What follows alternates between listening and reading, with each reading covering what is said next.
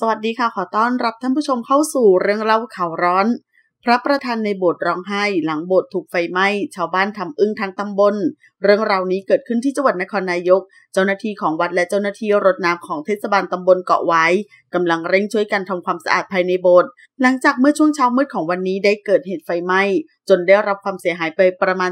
70%ส่วนมากจะเสียหายภายในโบสถ์เพราะพระลูกวัดช่วยกันดับ และรีบแจ้งรถน้ำเข้ามาดำเนินการได้ทันที วัดดังกล่าวคือวัดปทุมวงศาวาสตำบลเกาะไวอำเภอปากพรีจังหวัดนครนายก จากการสอบถามพระมหาพวัตรผู้ช่วยเจ้าอาวาสวัดปทุมวงศาวาสบอกว่าเมื่อช่วงเช้าเวลาประมาณ6นาฬิกา30 นาที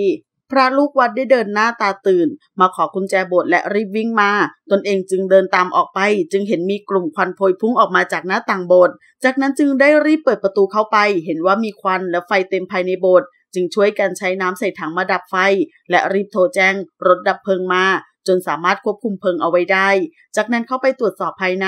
พบว่าพระที่อยู่ในโบสถ์ส่วนมากจะได้รับความเสียหายทั้งหมด ก็จะมีเหลือไม่กี่องค์ที่ไม่เป็นอะไร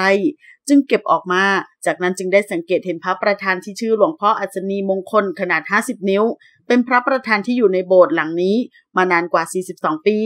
ซึ่งทุกคนต้องขนลุกเมื่อเห็นว่าหลวงพ่อได้มีสีดำไหลออกมาจากที่ตา คล้ายกับพระน้ำตาไหล ซึ่งพระองค์อื่นๆ ก็ไม่มี จึงสร้างความประหลาดใจให้กับเจ้าหน้าที่ทุกคน จึงถ่ายรูปเก็บเอาไว้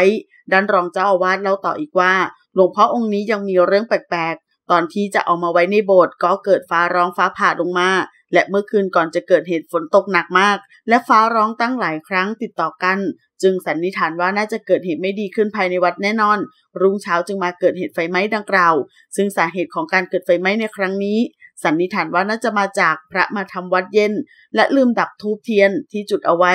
เลยเป็นสาเหตุดังกล่าว ส่วนความเสียหายยังอยู่ระหว่างการตรวจสอบอีกครั้ง ขอขอบคุณข้อมูลจากทีนิวส์ขอบคุณค่ะ